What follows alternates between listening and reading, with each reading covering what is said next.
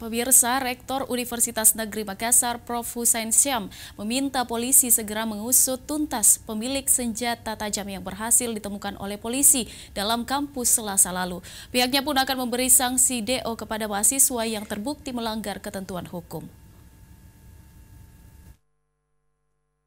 Bentrokan antar fakultas kembali terjadi di Universitas Negeri Makassar, di mana Fakultas Bahasa dan Sastra dengan Fakultas Seni dan Desain saling serang pada selasa lalu.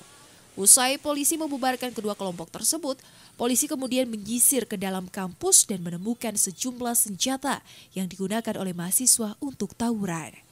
Menanggapi hal tersebut, Rektor Universitas Negeri Makassar Husain Syam meminta agar polisi segera mengusut tuntas temuan senjata tajam di dalam kampus dan segera mencari para pemilik senjata tersebut untuk dilakukan proses hukum. Selain itu pihaknya juga telah melakukan rapat dengan pimpinan kampus agar menemukan solusi terkait permasalahan kedua fakultas yang ada di UNM.